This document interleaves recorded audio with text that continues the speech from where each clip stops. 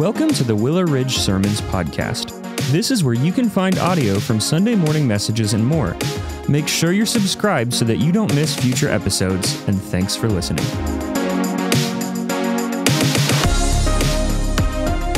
Well, good morning, Willow Ridge. Hey, that's actually pretty energetic for a church that had to come in in the rain this morning. I appreciate that. A little bit of energy is good. Want to thank the choir. Y'all did make David Allen look good. That's sharp. I appreciate that.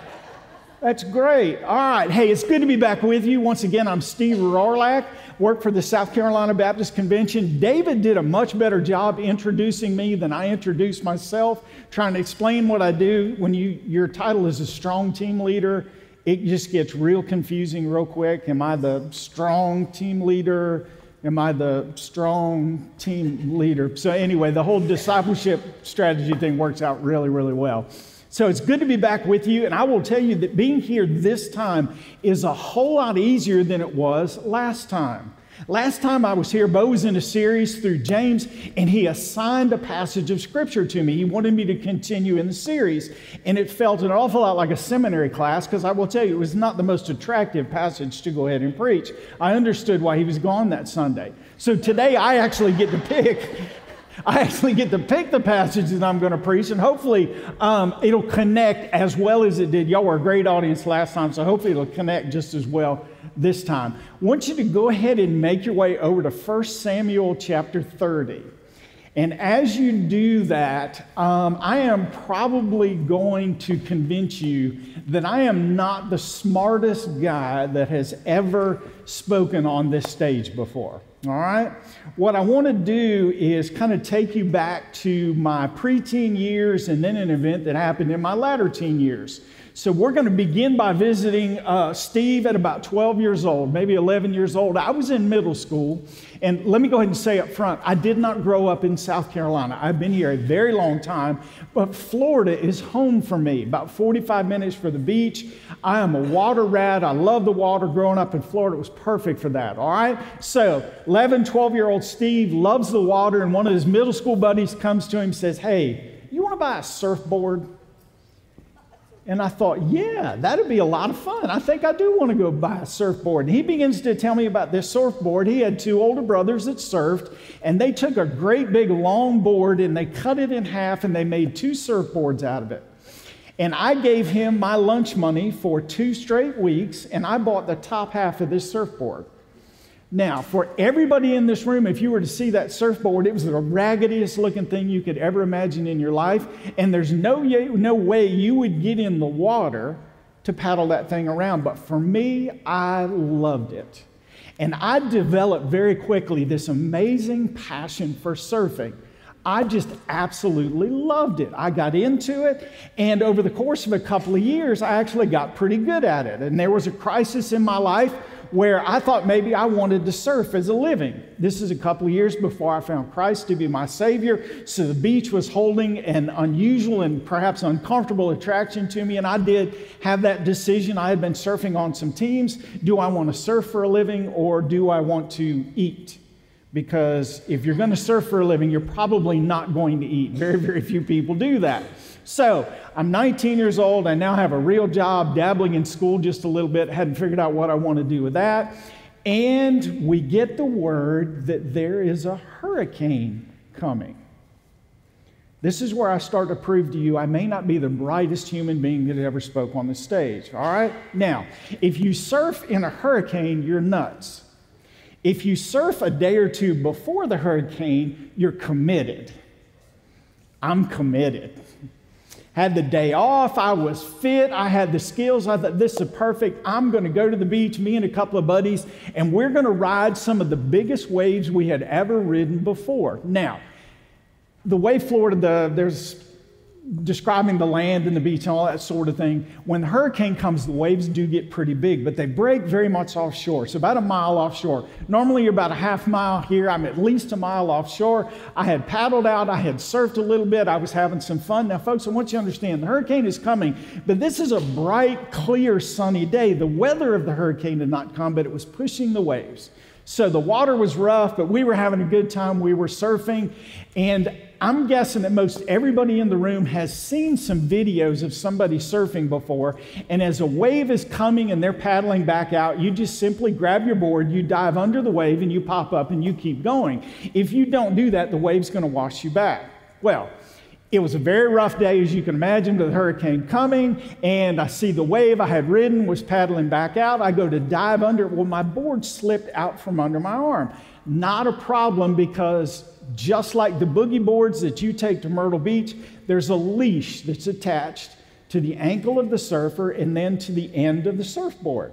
So if you happen to get away from your surfboard, the leash will grab, it'll stretch a little bit, and it'll come back. So, wasn't that concerned about it. Board slipped, I dove under the wave, felt a tug on my leg, and then all of a sudden something felt different.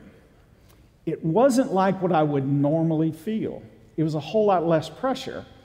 I come up and I turn and look, and what's happening is my surfboard is rolling on its side in a barrel roll up off the water. My leash had broken. Now, this is not the point where I thought, uh oh, I'm in trouble. I had done some open water swimming before. I knew that I was about a mile offshore, and the next 45 minutes or so was going to be kind of long and kind of rough, but I knew how to body surf. I honestly was more concerned about how banged up my surfboard was going to get while it was flopping around on the way back because I knew there was no way I was going to catch it. So, I start my swim in, and again, I'm probably three quarters of a mile or a mile out, and you body surf a little bit, and the waves, it's like a washing machine as you get closer to the shore. So I'm swimming in, and I misjudged a wave, and it took me under. Not a problem. Popped back up, but before I had a chance to catch my breath, another wave broke, and it pushed me much farther underwater. Now, that's a problem I had no air, and as it pushed me down, I also lost my bearings as to which way was up and which way was down. Now, I had been surfing long enough to know, and I'd been going to the beach long enough to know that if you just lay still, your body is buoyant, you have air in your lungs, and eventually it will slowly bring you to the top. My problem was I didn't really have a full uh, lung full of air when I went under. So now my head and my lungs are having a conversation about my head saying, just relax, you'll float to the top. And my lungs are saying, no, no, you got to do something. Floating's not doing something. I don't have any air. Managed to figure it out and get to the top. Managed to catch a little bit of breath. Managed to swim on in. Now, I'm about two miles from where my car is parked. Y'all have been to the ocean, you know how it kind of moves you down and you're a long way. Well, when it's rough and when the wild weather's coming in, it's really going to wash you down. So here I am with this broken leash in my hand, about this long, and I'm carrying it.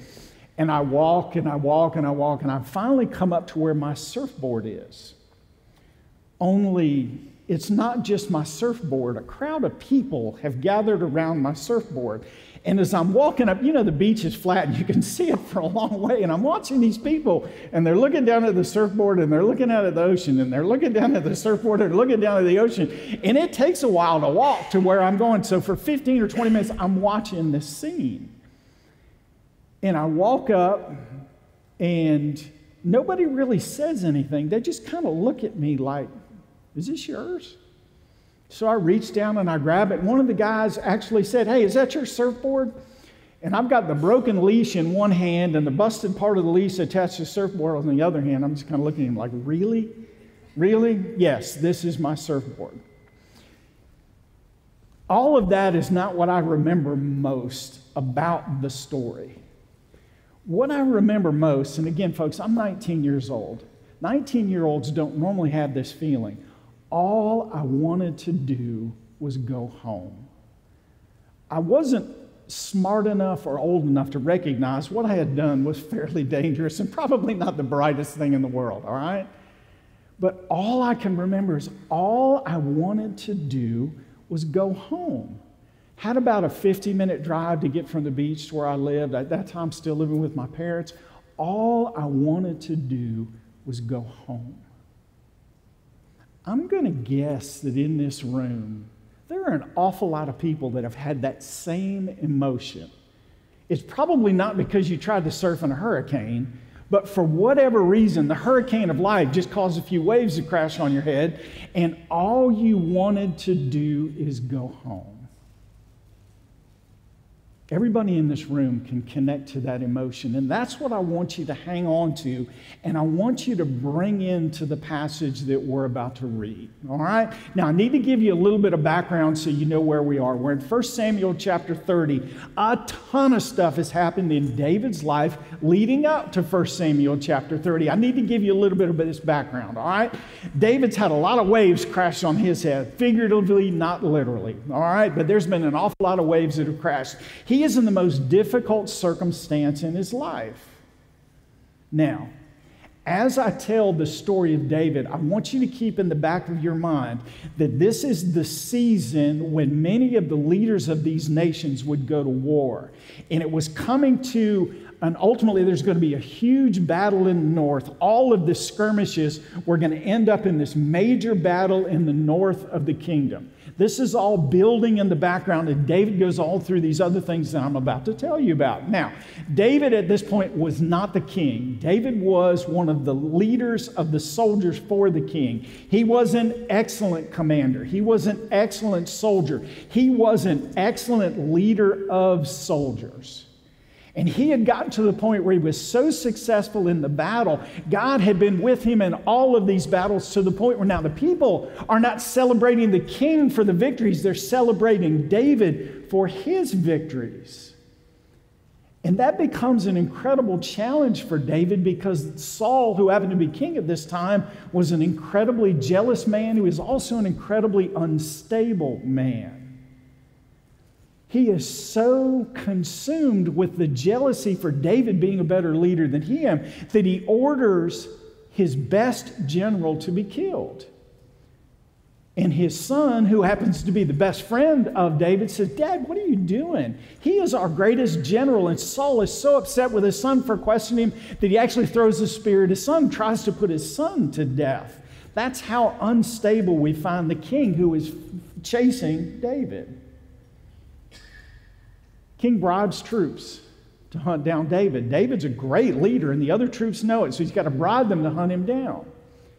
There is no protection right now for anybody that disagrees with the king. And let me tell you, you do not want to be a priest right now because they're communicating God's word and is absolutely opposed to the king's word. He doesn't like it a bit, so he's going to take care of the priests. You do not want to be a priest at this time. David is on the run.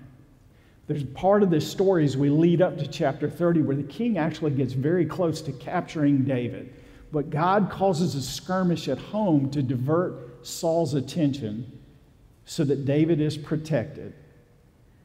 Move on just a little bit farther, and we find there are 3,000 men that are now hunting for David.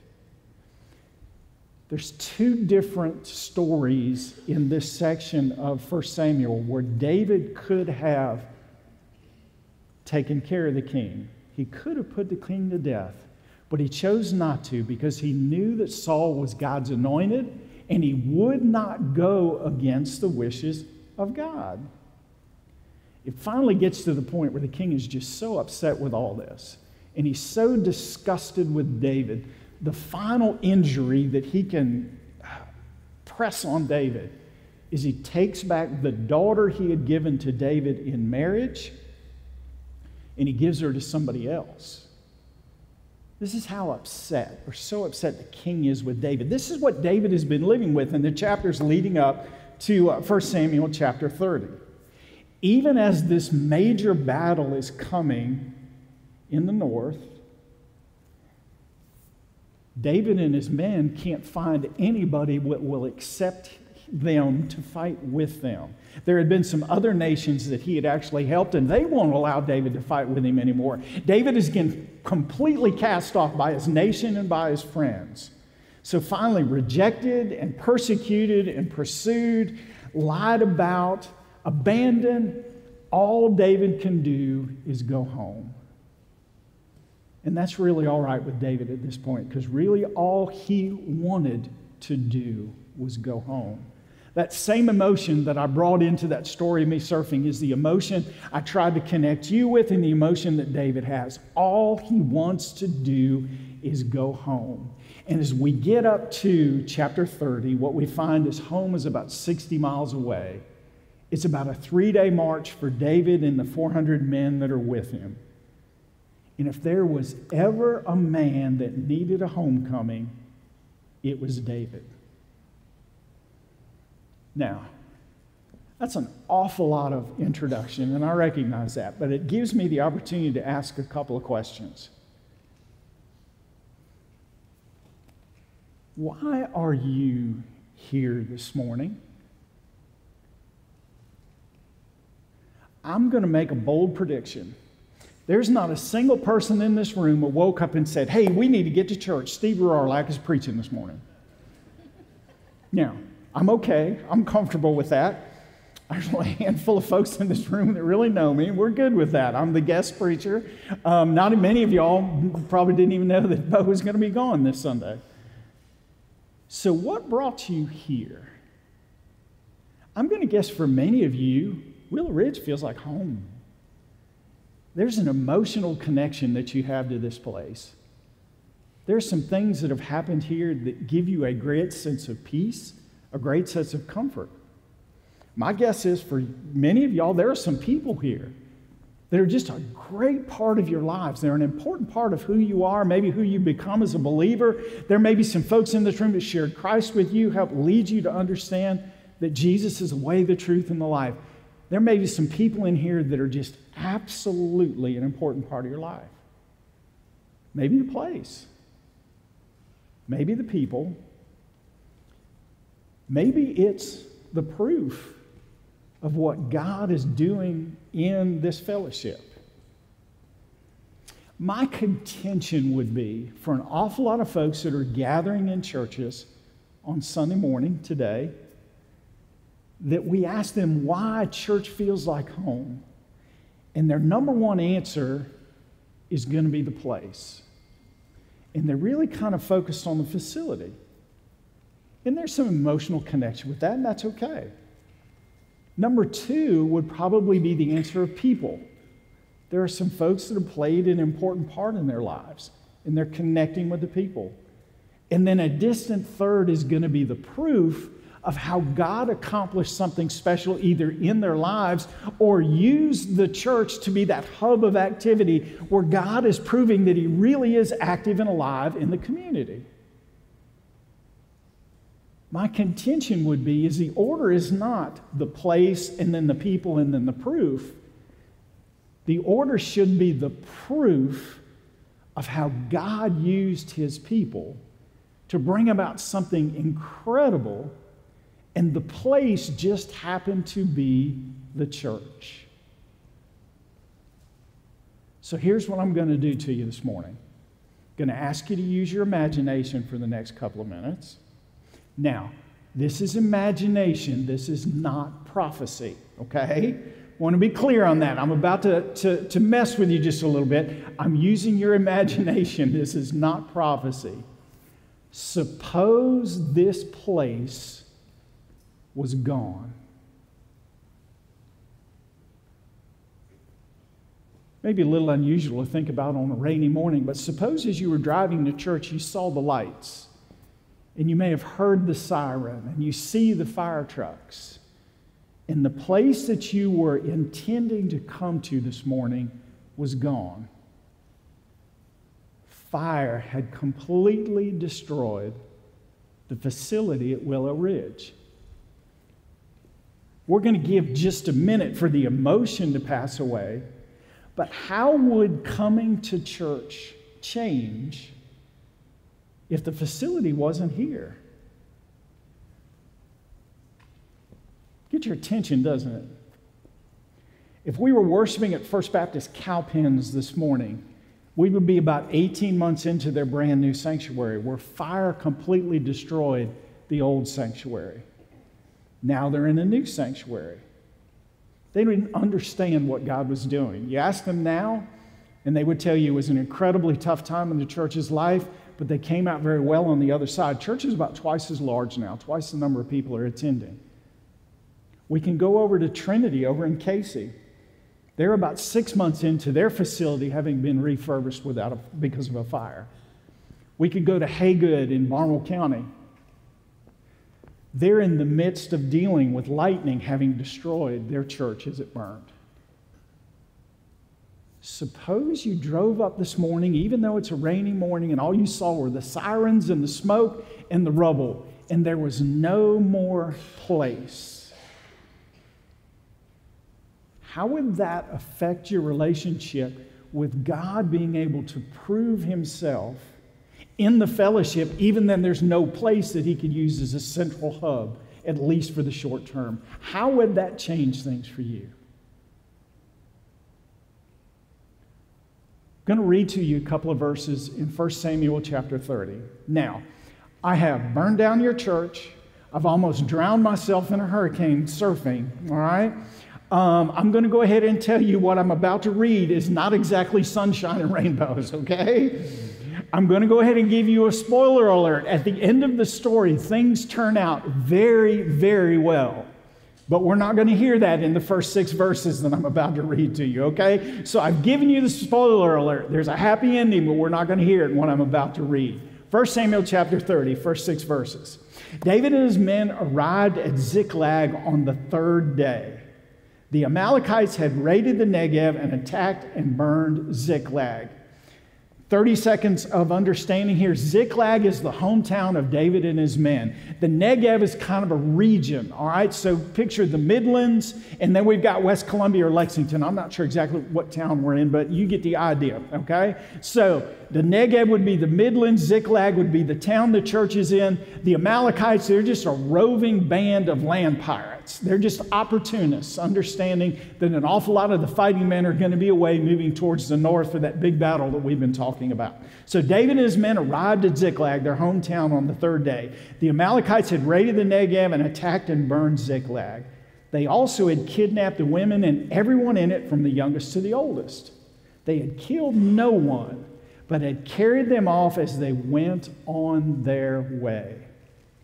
When David and his men arrived at the town, they found it burned. Their wives, sons, and daughters had been kidnapped. David and the troops with him wept loudly until they had no strength left to weep.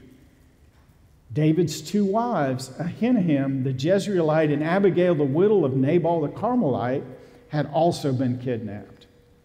David was in an, an extremely difficult position because the troops talked about stoning him, for they were all very bitter over the loss of their sons and daughters. If you are underlining in your Bible, please underline those last few words in verse 6. It says, But David found strength in the Lord his God. I gave you all the background of David. Just an incredibly difficult season in his life.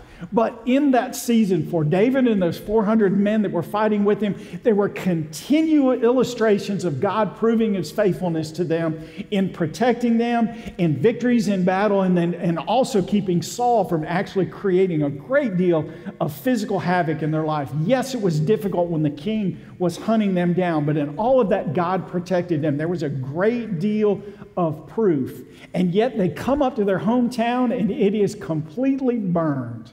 And their families are gone. This roving band of land pirates, again, the Amalekites, they recognize that all the fighting men are moving towards the north, and it gave them a perfect opportunity to go through all those small towns and villages, take the people, take the animals, take the possessions, and gather it all up for themselves, and just raid city after city after city. They knew the fighting men were going to be gone. But we've gotten to the point where David's men lost the proof and they were exhausted. And those they were looking forward to seeing most were no longer there. And, folks, I want you to see the contrast in the two responses between David and his men because it's an incredible illustration of godly leadership on the part of David there's an incredibly difficult response to the, between the two groups. In the emotion of the moment, David's men wanted two things they wanted action and they wanted accountability. The group that had that little bit of physical strength left actually was talking about stoning David. I want to make sure everybody in the room understands what we're talking about when we say stoning. Every boy in this room over the age of five has been in a rock fight. We've all picked up rocks and thrown rocks as guys. Girls, I don't know if y'all do that as much as guys do, but if you're a boy, you've thrown a rock at somebody in anger, or at least in fun. All right? That is not what we're talking about here. Traditionally, in the Old Testament, we're talking about stoning. We're going to take somebody that's going to be stoned. They're going to be put on a very high place, some sort of a, a cliff or a height, and they're going to be pushed off where the fall would probably disable them. That's the goal of that drop is to disable them. And then those that are going to participate in the stoning would pick up boulders. I'm not talking about rocks you throw. I'm talking about boulders that you drop, and they would be dropped on the individual. This is not a rock fight. This is the intention of putting somebody to death with rocks. It's an incredibly gruesome way to die, and that's what's being talked about in Scripture. That's how upset David's men are at him because of the town being burned. But David, having never lost the understanding of the proof of God's protection, responds incredibly different. Verse 6, verse 6 says, But David found strength in the Lord. His strength of faith ultimately is going to lead to a physical strength that is actually pretty incredible a little farther down in the story. The care, because of God's proof, becomes strength and courage that's going to lead him to do some amazing things in the leadership as we go through the rest of the story. Now, in this section of 1 Samuel chapter 30, it also lets me know that there are a couple of Baptists in the Old Testament. As you read through the story, what you find is David's men, they want a business meeting. But David, David wants a prayer meeting. David only wants to do business with God, whereas his men want to do things in an incredibly different way. What I'm saying to you is just like us, David's men lost the correct order of things. As a matter of fact, as you read through this story, we talk about the place. The place is destroyed, it's gone. There's nothing there but rubble and burn. The people, they're in all kinds of turmoil. David's men are all upset, and the families are gone. And in the midst of all of this, David's men lost the proof.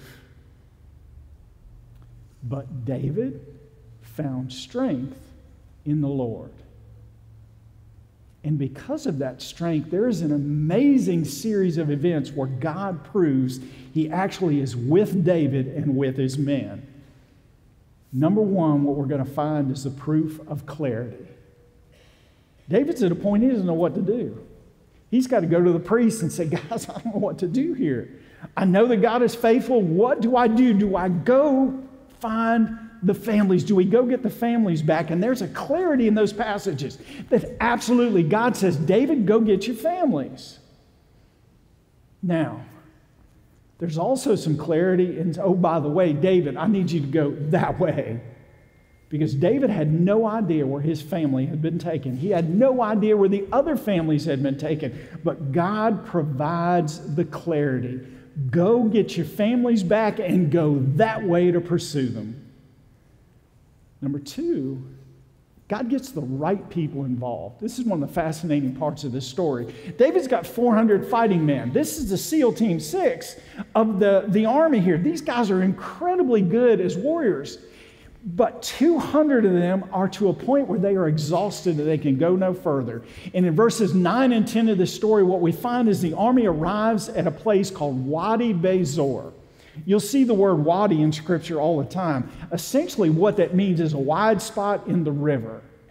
During the rainy seasons, the water would come and it would expand the rivers, and sometimes they're very difficult to cross. There's a, a, a quite a rapid current. It's just got very large. It's deep and muddy. It's just, just a difficult thing to do. 200 of David's men had gotten to the point where they just don't have the energy to move on any farther. And that's okay because God gets the right people involved. He takes 200 of those mighty warriors and these warriors and he sets them aside and he introduces to the group one sick slave. There's a man that's been outcast by the Amalekites, that raiding party. He had been left for dead. They thought he was dying, so they left him behind. And David finds him, and they give him some food, and they give him some water, and they nourish him, kind of help him back to health. And he said, Hey, can you help us find our families? The guy says, Absolutely, under two conditions. Number one, you don't kill me. Now, that seems pretty fair to me. I'm going to help you if you don't kill me. And then number two, don't give me back to my master. That also seems like a fair request for somebody that's about to help David. And David says, Absolutely. We will not kill you. We will not give you back to the master. You help us find our families. There's another proof in this story. It's a little hard to find if you don't recognize it. It's the proof of distraction. Those Amalekites that we've been talking about, they're not worried about what's going on. Remember, all those fighting men have been moving to the north. There's this big battle that's going to occur. And anybody of fighting age is kind of moving towards that. See, the Amalekites are staying behind. They're raiding all these cities. They're keeping everything they want for themselves. They knew they were safe. So they decided hey, while everybody else is gone, we need to throw a party. We need to celebrate all of these people and all of these things and all of this wealth that we have accumulated as we've gone from town to town to town the clarity of distraction placed in the lives of the Amalekites was part of God proving his love for David and his men. Because what the Amalekites didn't know is that David had been sent home. And we get that one final proof in this story.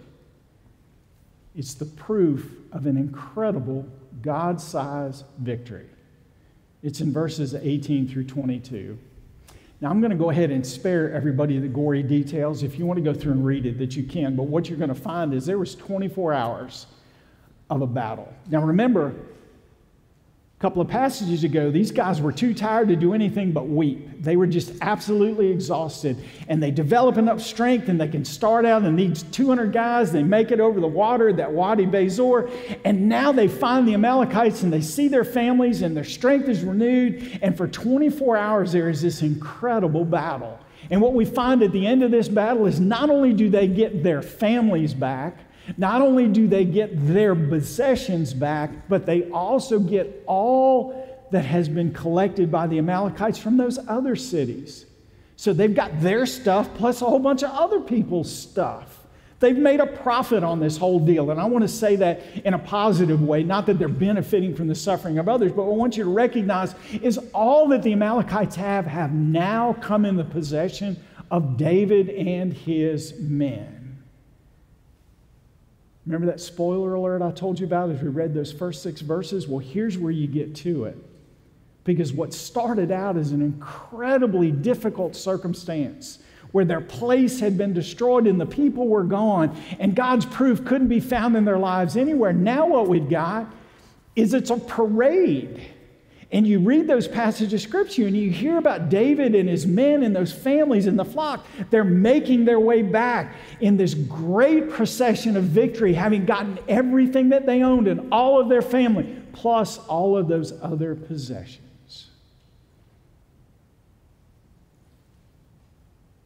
Have you ever noticed that there are some people that are just really good at ruining a parade? There are those folks that are naturally gifted at drawing victory from the jaws, or excuse me, drawing defeat from the jaws of victory. David had a couple of those knuckleheads in his army. See, what happens is they're enjoying this parade and they're marching back, and they get to the point where they had left the 200 guys behind. And many of those that fought in the battle to regain all of those possessions and regain those families saying, hey, they can have their families, but they get nothing else. And we're going to let them go. And this is where the godly leadership of David really does begin to kick in. The man David, who we're told in verse 6 found strength in the Lord, he goes to his men said, Guys, we cannot do this. We cannot act this way. Now, I have to confess, if it was me and I had a group of my men that were acting like that, I would rant, I would rave, I would scream, I would point. I know that I would just be in their face telling them what a really ridiculous thing that they're doing. David doesn't act that way at all. He says, My brothers, we cannot do this thing with love and care and compassion. He says, My brothers, we cannot do this thing. This is what God has done to us. Instead of ranting and raving and screaming, he looks into the faces of those men and he reminds them that this is God's proof of his hand being with them. And he maintains the relationship of those guys that are in his fighting force. And then we get to, for me, is the funniest part of this whole story. I'm going to talk to the wives for just a second here. Now, I've told you the story. 200 guys are left behind, the other 200 go. There's a battle with those 200 guys that fight for 24 hours and they get all the families back. Ladies, imagine with me for a moment if at the end of that battle, when the families are reunited, your husband wasn't there. Your husband was one of the 200 guys that was left behind at the river. Now, if this was a movie, this is about the time I would be able to feel my wife's stare kind of drilling through my head. As she would look at me, and I'd know sheepishly look over and said, You better be there to fight for me. I, hey, hey, I didn't do anything. It's a movie, it's a story. It wasn't me. Ladies, imagine with me for a moment if your husband was not there.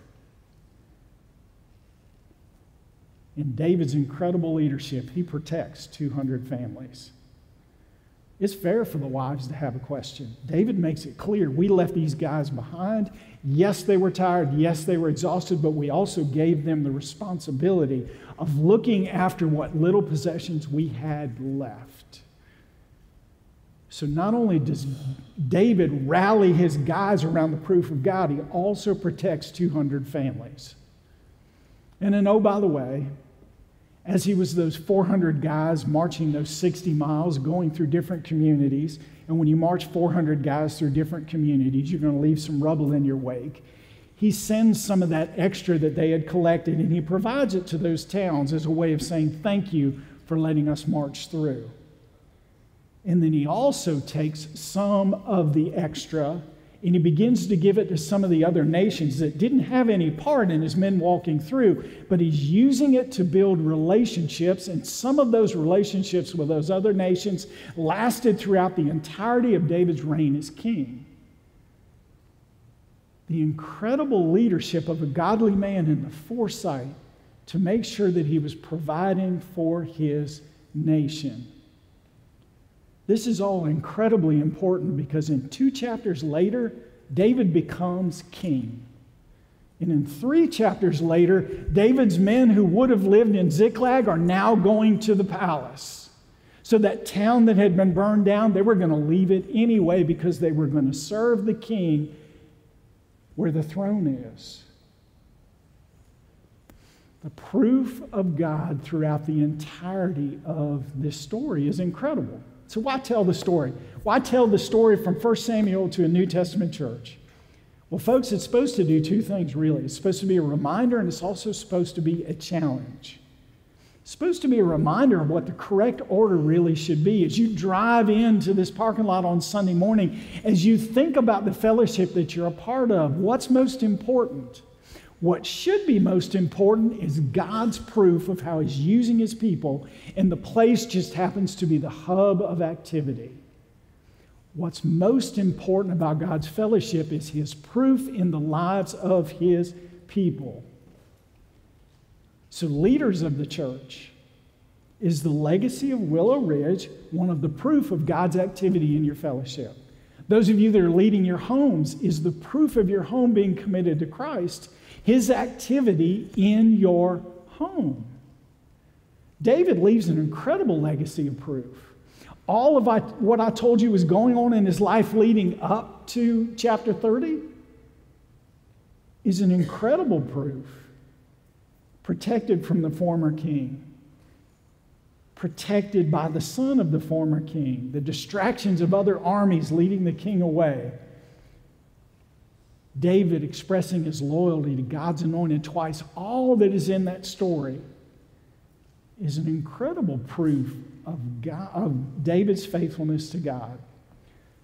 So that leaves us with the challenge we find at the end. Is your home going to be a home that's led like David's, where you find strength in the Lord? Those of you that are leaders in this fellowship, are you committed to Willow Ridge being a church where collectively the church finds its strength in the Lord? Are you committed to there being ongoing proof of God's action in the lives of the people? We're not simply a gathering of a group of people on a Sunday morning. We are the active body of Christ. And the goal is for this place to simply be a hub of activity where God can prove He is using His people in the lives in this fellowship, in this community, and ultimately on the other side of the earth, as your pastor happens to be today. Is there a proof of God's activity in this fellowship? That is a place worth coming home to. One final thing, and I'll close. As I've talked about God proving Himself, some of y'all may be struggling just a little bit with that. You can connect to the place, you can connect with some people, but there's a lack of proof in your life. You may have lived with constant waves crashing over your head you related to that illustration I told at the beginning because you feel like your life is a constant set of waves, and sometimes it's holding you down. My question for you is Are you trying to live your life alone? Are you trying to live your life through the lives of other believers? Or have you responded to Christ? In order for Christ to prove he's real, you first have to accept him into your life and into your heart. In just a few moments, we're going to go into a time of invitation. There'll be some folks off to the side. If you would acknowledge, I am one of those people, that the waves are breaking hard, and I've tried everything but Christ as my Savior to fight those waves. And it's time to close my eyes and open my heart and give my life over to my Lord and Savior, Jesus Christ. Pray with me, and we'll close this morning. Father, what we find in 1 Samuel chapter 30 is a great story of how a man in an incredible, difficult circumstance chose not to focus on the surroundings, but to focus on the love that you had for him.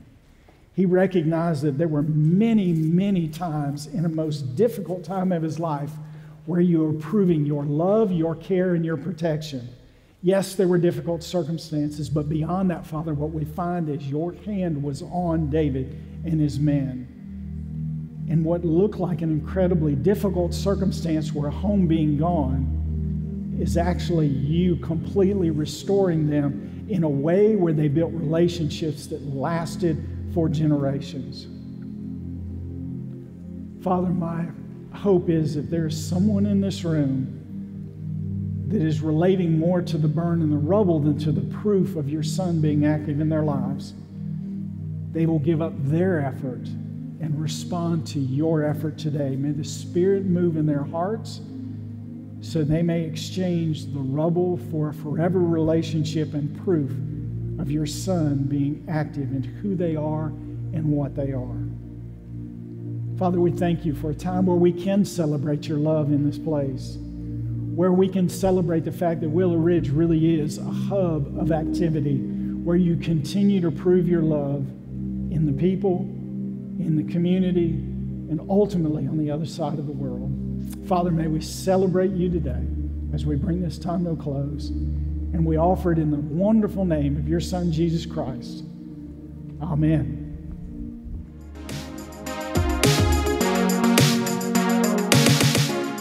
Thanks again for listening, and be sure to check back next week for another episode. In the meantime, you can visit us at willowridgechurch.org or by searching for Willow Ridge Church on Facebook, Instagram, and Twitter.